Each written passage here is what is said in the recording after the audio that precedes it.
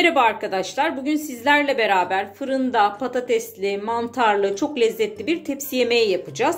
Tarifimize öncelikle patateslerimizi doğrayarak başlayacağız. Patateslerimizi çok fazla inceltmeden halka halka olacak şekilde doğruyoruz.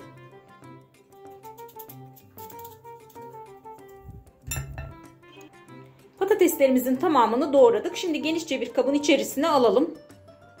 Şimdi patateslerimizin üzerine 1 çay kaşığı toz kırmızı tatlı biber, 1 çay kaşığı pul biber, 1 çay kaşığı kekik, yarım çay kaşığı karabiber, biraz da tuz ekliyoruz. Tuz miktarını tamamen kendi damak tadınıza göre ayarlayabilirsiniz. Şimdi patateslerimizin üzerine biraz da zeytinyağı ilave ediyoruz. Göz kararı patateslerimizi ıslatacak kadar. Bu kadar yeterli.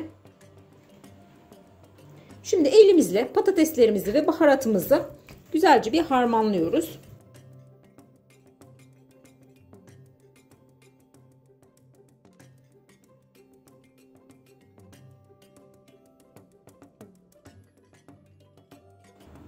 Şimdi soslamış olduğumuz patateslerimizi yağlı kağıt serdiğimiz tepsimize dizelim.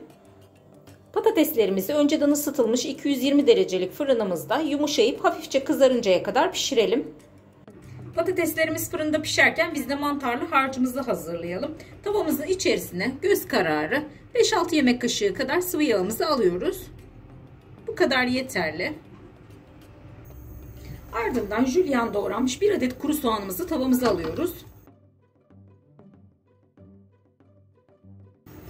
Soğanımızı kısık ateşte güzelce bir kavuruyoruz.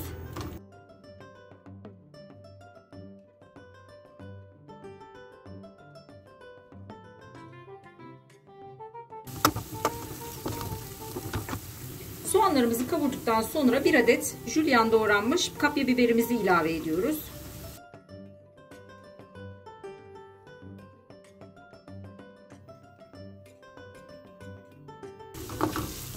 Kapya biberimizi de soğanımızla beraber yaklaşık 3-4 dakika kadar kavuruyoruz.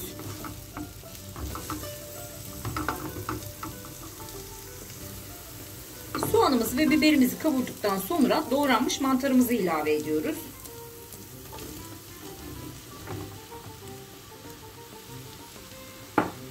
Yarısını ilave ettikten sonra şöyle bir karıştıralım.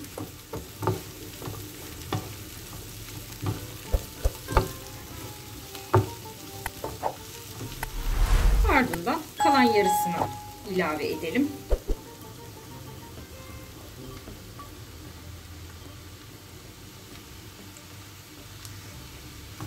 Tekrar karıştıralım.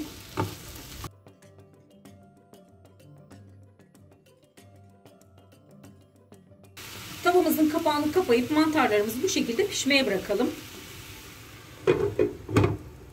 Mantarımızı bu şekilde kapağı kapalı olarak tam 10 dakika pişirdik. Şimdi kapağını açalım. Biraz tuz ve baharat ekleyelim. Şöyle bir çay kaşığı pul biber, bir çay kaşığı toz kırmızı tatlı biber, yarım çay kaşığı karabiber ve göz kararı biraz da tuz ekliyoruz.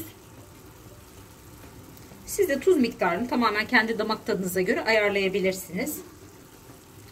Şöyle bir karıştıralım.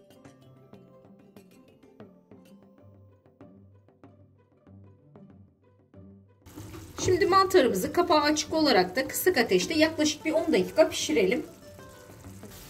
Evet mantarımız çok güzel bir şekilde pişti. Ocağımızın altını kapayalım ve patatesimizle buluşturalım. Patateslerimiz de yaklaşık 20-25 dakika gibi bir sürede tam istediğimiz kıvamda pişti. Şimdi patateslerimizi borcam tepsimize dizelim.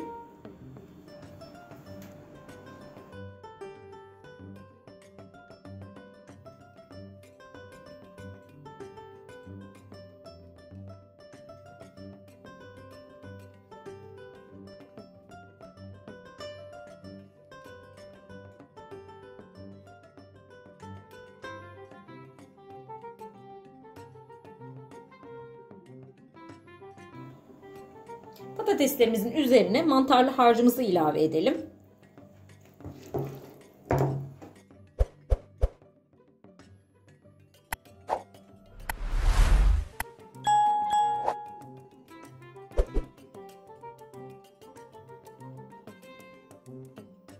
Şimdi yemeğimiz için salça sosumuzu hazırlayalım.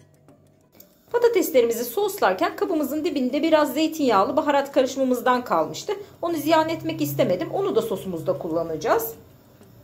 Şimdi zeytinyağlı baharat karışımımızın üzerine silme bir tatlı kaşığı biber salçası ve bir tatlı kaşığı da domates salçası ekliyoruz.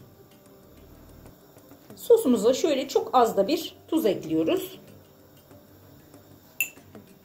Ardından bir su bardağı kadar sıcak suyumuzu ilave edip salça sosumuzu güzelce bir karıştırıyoruz.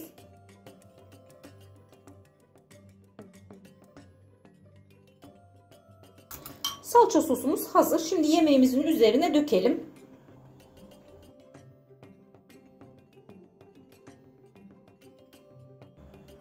Şimdi yemeğimizi önceden ısıtılmış 220 derecelik fırınımızda fırınımızın orta tarafında yaklaşık 20 dakika kadar pişirelim. Yemeğimizi 20 dakika fırınladıktan sonra fırından çıkardık. Şimdi üzerine bolca rendelenmiş kaşar ilave ediyoruz.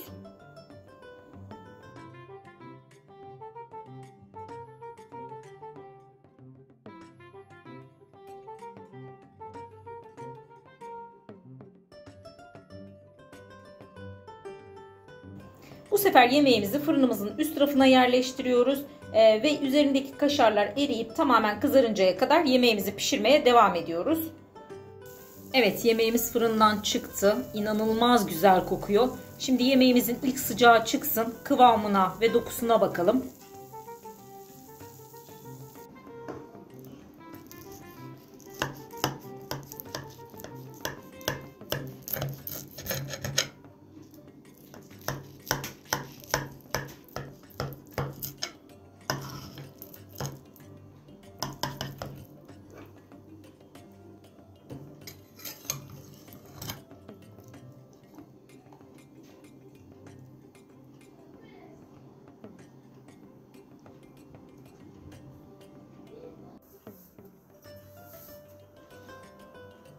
Hemen şöyle kıvamına da bakalım yemeğimizin.